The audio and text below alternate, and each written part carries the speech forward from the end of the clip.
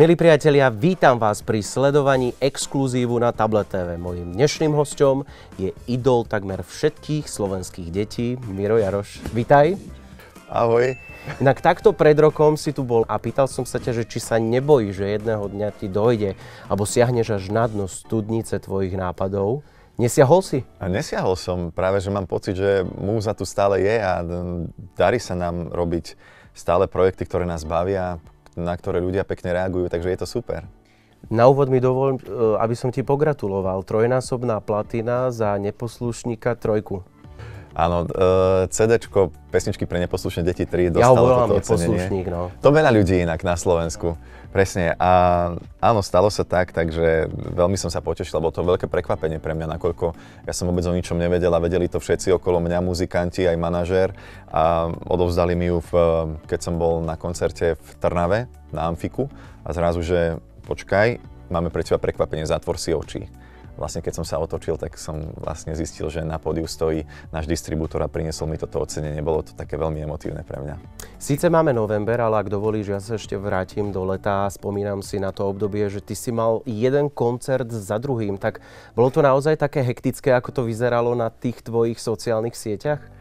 Tak ono je to vždy hektické, keď robíš turné alebo tieto veľké koncerty, lebo naozaj to sú už masy ľudí, pre ktorých hrávame ale čím viac ľudí je tam, tým je lepšia energia. Fakt, že si to užívame, ideme vždy dopotení z podia, ale tá energia, ako ľudia reagujú, ja mám dokonca ešte takú, že interaktivitu s nimi, čiže porozprávam sa s nimi, čím by chceli byť, či sa im to splnilo a tak ďalej. Premostujeme medzi pesničkami a človek sa dozvie veľmi veľa milých, pekných vecí. Takže mm, milujem hranie toto je úplne super. Spomínam si na to obdobie, že celkom sa o teba zaujímal aj bulvár. Riešili sa tvoje príjmy, ale predovšetkým sa riešilo to, že niektorí tvoji fanúšikovia akoby neboli spokojní s tým, ako koncerty prebiehajú, respektíve ako sa končia. Tak ako to tam bolo? Prečo, prečo vznikla táto vlna? Asi hovoríš teraz o autogramiadách. Napríklad. Lebo niekedy sa stane taká vec, že rodič, keď ide s dieťatkom na koncert, tak mu slúbi fotku s Mirom Jarošom a neuvedomuje si to, že my sme na festivale a toto nie je môj súkromný koncert v kultúrnom dome, kde to robíme, ale na tých, naozaj na festivaloch sa to nedá. A ja ešte uznávam takú nejakú filozofiu, že pokiaľ sa nemám odfotiť so všetkými deťmi, ktorí tú fotku chcú, tak sa nebudem fotiť s nikým, lebo nič nie je horšie než zlomené detské srdce a keď potom deti stoja v rade a ja im poviem, že po 15 minútach ja musím už skončiť autogramiadu a stojí tam ďalších 100 detí, ktoré tú fotku nedostanú a potom plačú a sú z toho smutní, tak sme sa rozhodli, že radšej nebudem robiť uh, autogramiady na takýchto podujatiach. Jednak aby sme zachovali férovosť a rovnosť medzi deťmi a druhá vec je taká, že na týchto festivaloch sa to naozaj nedá, lebo tam už sa ja mám čas iba tých 15 minút, kým sa zvučí ďalší interpret. A keď ďalší interpret začína svoj koncert na podiu, je to nefér aj voči nemu taká neúcta, aby ja som tam stal na boku a tú pozornosť e, pútal k smerom ku mne tým, že ja si tam budem robiť autogramiadu. Takže, ale ľudia toto nevedia. Ja chápem, že niekedy sa hnevajú, len verím tomu, že po vysvetlení, prečo to tak je, tak to pochopia. Miro, ty si cez leto nie len koncertoval, ale veľa si pracoval na novej hudbe, ale predovšetkým na nových videoklipoch, ktoré nájdeme mm. na tvojom e, aktuálnom DVDčku. Tak nám niečo prezerať zo zákulisia, ako to celé vznikalo, koľko videoklipov na ňom môžeme nájsť a čím je toto DVDčko také špeciálne? No špeciálne tým, že je najnovšie a vždy, keď mám nejaký najnovší produkt, tak mám k nemu najbližší a veľmi sa z neho teším. A ak, ak môžem teda, ja by som aj ukázal, tak to vyzerá. Je tam naša trojka, som tam s dinosaurom, pretože je tam aj pesnička, kde sa s deťmi vyberieme na cestu do praveku. Teraz sa pozerám, tuto zozadu mám napísané pesničky, pôjdeme do cirkusu, potom naučíme deti, aby sa nezdúvali, aby neboli balón, naučíme sa planéty. Je tam videoklip, ktorý majú ľudia veľmi radi, dospelí, ktorý hovorí napríklad o tom, že každé povolanie je krásne a netreba sa pozerať na povolanie napríklad smetiara cez prsty, čo ma aj takže dosť zamrzelo, že keď sme vydali tento videoklip na YouTube, tak písali ľudia, prečo práve smetiara si dal do pozície, že je idolom detí. A ja hovorím si, že čak ja si pamätám, keď som bol ja malý chalan, tak chcel som byť smetiar. Už som vystával pri okne, že kedy prídu smetiari odviesť smeti. A zase um, niekedy mám pocit, že rodičia príliš tlačia na svoje deti, že študuj, aby si mohol byť riaditeľom nejakej firmy a tak ďalej. A pritom tie detičky, oni v srdci majú úplne iný cieľ alebo iný sen, o čom snívajú. A je to niekedy smutné, že sa takto zabije veľa detských snov. A pesnička zároveň hovorí o tom, že pre, nech robíme akokoľvek, my dospeláci, a ja verím tomu, že každý rodič robí najlepšie ako vie, tak pre tie naše deti vždy budeme ako keby idolmi. Že tie deti budú k nám zliadať a sú takým vlastne zrkadlom nás dospelých.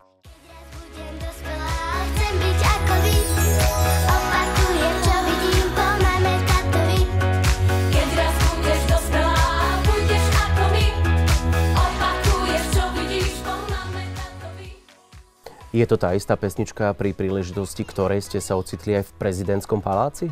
Nie, ale tam má tiež k tomu blízko a tiež sa nachádza na tomto DVD. Tá pesnička sa volá Čím chceš byť a tam riešime povolania detí. Ale veľmi vynimočné je napríklad pesnička Plíšový psík, ktorú v tomto klipe si zahrala Evka Rysová a bolo to jej posledné hranie, na ktoré teda kývla na spoluprácu, tak som sa veľmi tešil, lebo hrať, mať v klipe takúto legendu, ako je Evka Rysová, to bola akože bomba. To bola pecka, vidieť ju v akcii a zároveň spojené s tým, že to je vlastne posledný krát, ako hrá v nejakom projekte, tak ma to až dojímalo. Je veľmi úžasná a pre mňa je to veľká čest, že ju tam môžeme mať. Kto si povedal, už nechcem sa s ním hrať, mama choď a psíka do obchodu vráť, nech mi niekto nový darček pripraví.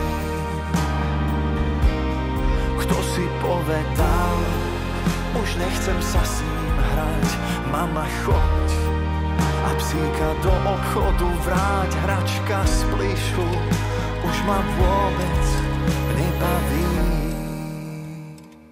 Vieš ty vôbec spočítať, koľko nakrúcacích dní v roku si absolvoval? Pretože naozaj sú to uh, veľké klipy, veľké výroby, niekedy sa nakrúca dva, aj tri dní dokonca. Nakrúcalo sa niekedy aj dlhšie? Mm-hmm. Eh, napríklad taký videoklip Strašidla, ktorý sa nachádza na tomto DVDčku iba ako bonus. Nie je zaradený medzi tých 12 klipov, ktorí idú po sebe, ale dá sa pozrieť iba ako bonus. Tak eh, to bol vždy môj taký veľký sen. Chcel som nahrať niečo podobné, ako mal Michael Jackson Thriller. A teraz sa mi to podarilo. Hneď sa schováš pod paplón, zo srdiečka stal sa zvon, oči silno zatvorené máš. Len si to predstavuješ. Otvor ich a svoj strach prekonáš. Sú to strašidlá, v noci prídu k nám. Sú to strašidlá, Ty si hovoril o videoklipe Strašidla a v tejto súvislosti si povedal, že ide o mimoriadne finančne náročný videoklip. A tu je potom otázka, že či sa to v súčasnej dobe oplatí robiť také veľkovýpravné videoklipy, lebo dnes YouTube znesie toho naozaj veľmi veľa. Tak záleží na tom, že ako to vnímaš napríklad. Áno, investícia do tohto videoklipu sa nikdy nevráti. To akože som si istý už aj teraz, mm, aj keby ten klip mal neviem koľko miliónov pozretí, tak investícia sa nevráti, lebo to bol najdrahší klip, aký som kedy robil.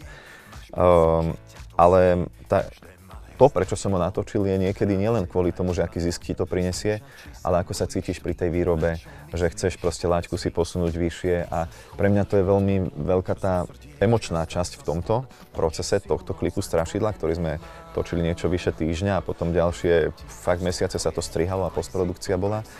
A robilo na ňom asi najviac ľudí, ako doteraz robilo na nejakom mojom projekte. Ale tu je to spojené s tou takou emóciou, že ja sa teším, že niečo také som vôbec mohol vytvoriť a niečo také mám a tam sa to nedá merať potom tými financiami, ktoré možno prídu a možno neprídu. Miro, ty si známy tým, že pokiaľ ide o tvoje videoklipy, tak sú známe vysokým štandardom, hej? Uh, sám to mám možnosť poznať, lebo v minulosti my sme spolupracovali. Čo najšialenejšie si ty chcel dostať doposiaľ do klipu? Alebo aká bola taká tvoja najšialenejšia požiadavka? Ja osobne si spomínam, Radko, potrebujem do hodiny 20 psov, a potrebujem do týždňa malý vláčik. Prečilo niečo ešte? Prekonalo niečo toto? A tak prečilo, jasné, lebo tak ako som hovoril, že nároky mám na seba, áno, Rádko kedy si pracoval pre mňa ako asistent a akože viem si predstaviť, že nebolo to ľahká robota, lebo naozaj človek ani nevie, koľko je veci za tým, vidí už iba ten výsledok. Uh, robili sme napríklad teraz masku mimozemšťana a ma, je veľmi, zober si, že keď robíš takúto masku, že odliadky, potom 6 hodín sa to niekomu aplikuje na tvár a našťastie som zohnal Šimonka, ktorý bol ochotný toto všetko podstúpiť, aj keď po nakrúcaní povedal, že už nikdy viac. Je to, je to veľmi náročné, jednak tú masku vyrobiť, potom aplikovať na niekoho a ešte to zapracovať do klipu. Potom riešili sme dinosaury, ktoré akože ožívajú, takže to sa všetko riešilo síce graficky a nakupovali sa nejaké obrázky, ale je, je to uh, veľa energie, kým sa toto spravia, tie strašidla nám fakt dali zabrať. Ako ja stále hovorím o tom klipe strašidla, lebo to je pre mňa taký asi najnáročnejší projekt, aký som kedy robil. Sú to strašidlá,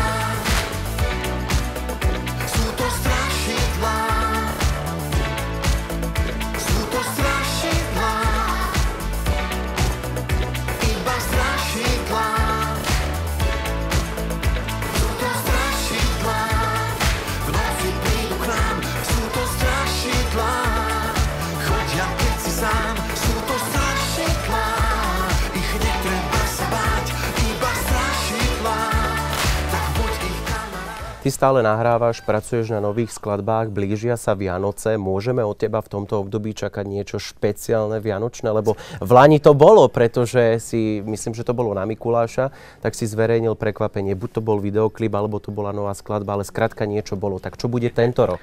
Áno, minulý rok sme toho vydávali veľmi veľa a tento rok tým, že som pracoval na tom DVD novom, tak e, sme si povedali, že nové pesničky vianočné nebudú. Ale na druhej strane už mám nejaké v hlave, už som začal skladať a album by mal výjsť budúci rok, tak akože následovník tohto albumu, tešíme sa na Ježiška. Takže teším sa, že budem ich nahrávať v zime, keď už e, všetko bude dokončené, ale pôjdeme na turné. Znova, to si už neviem ani predstaviť, že by sme mali rok bez toho, aby sme išli za našimi fanúšikmi a nedali si vianočné koncerty. Bude to čisto slovenské turné, alebo opäť pôjdete aj do Českej republiky, ako ste išli v Lani napríklad? Uh, tentokrát nepôjdeme do Českej republiky, nevychádza nám to časovo už, aby sme sa pozreli aj na Českú republiku. Budeme v šiestich mestách na Slovensku. Ak si správne spomínam, tak sú tam Košice, Bratislava, Nové zámky, Levice, Topolčany a ešte Banská Bystrica. Tak tešíme sa na fanúšikov tam.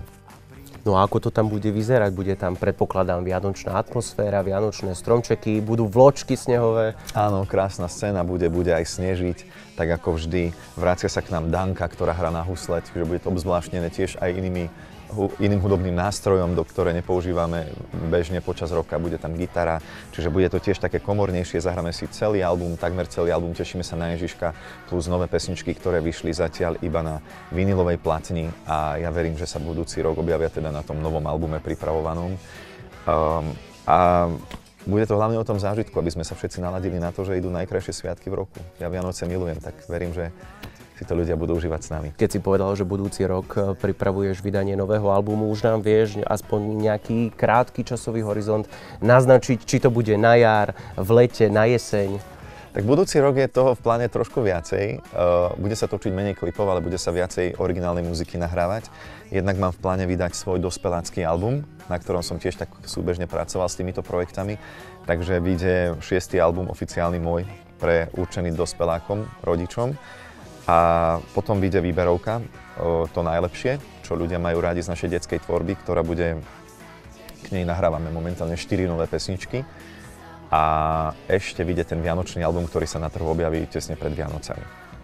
Myslím, že... Plánov viac než pomaly dní v roku.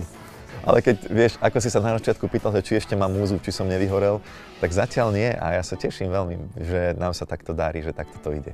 Davy fanúšikov sa tešia spolu s tebou. No ale Miro, ty si sem k nám do štúdia dnes eh, neprišiel s prázdnymi rukami, pretože ak sme hovorili o tvojom novom DVDčku, tak ty si ich doniesol hneď 5. Prečo?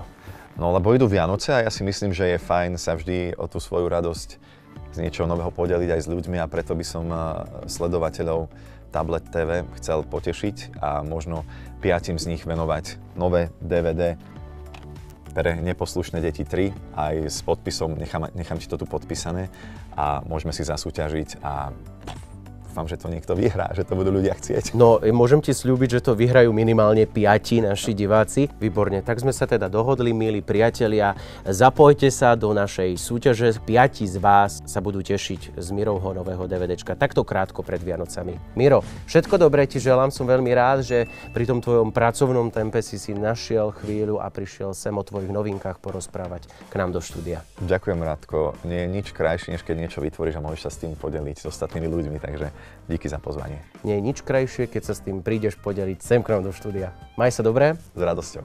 No a vám ďakujem, že ste boli spolu s nami. Teším sa na vás opäť na budúce.